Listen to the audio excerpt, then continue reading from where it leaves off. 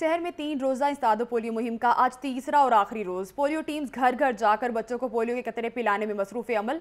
इस हवाले से मजीद जानेंगे इमरान मलिक से। जी इमरान मलिक, आगाह कीजिएगा इस मुहिम के हवाले से। हाँ जी, बिल्कुल, जनरल जितोई पोलियो मुहिम में सत्रह लाख इकहत्तर हज़ार बच्चों को पोलियो के कतरे पिलाए जाएँगे। पाँच साल से कम उम्र बच्चे हैं जिनको ये कतरे पिलाए जा रहे हैं। डीसी लाहौर ने असिस्टेंट कमिश्नर और डीडीओ हेल्थ की ड्यूटी लगा दी हुई है।